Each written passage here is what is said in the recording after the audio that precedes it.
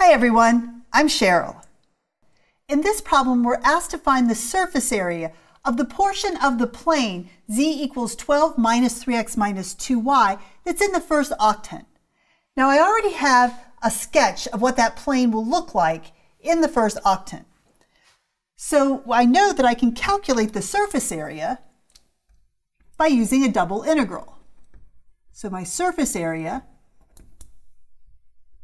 equals the double integral over the region ds.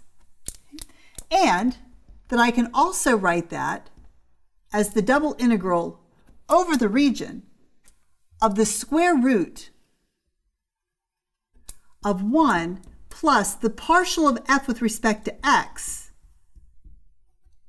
squared plus the partial of f with respect to y squared dA.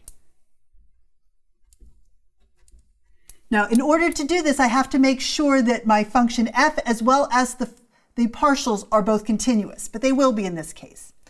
So let's go ahead and get those partials. So the partial with respect to x.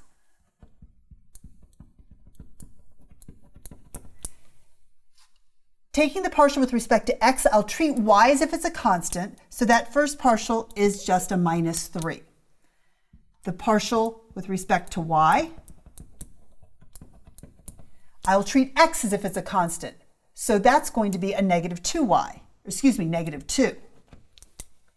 So let's go ahead and plug that into my problem.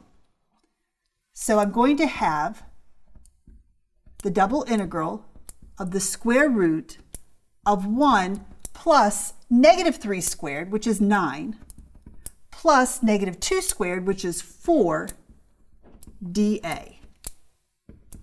This is just going to be the square root of 14, which is a constant, so I can pull it outside of my integral. So I've got the square root of 14 times the double integral over a region.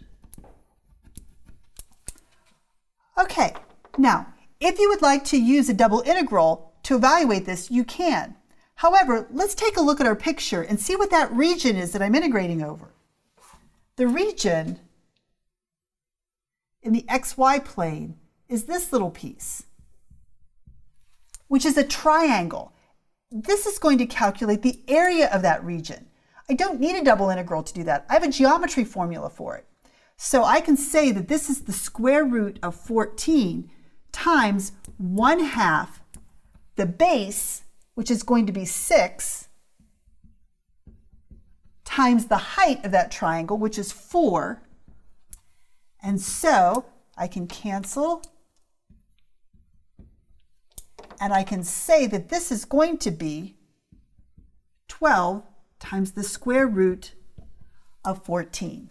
And again, we're dealing with surface area, so it will be in square units. I hope that was helpful. Thanks.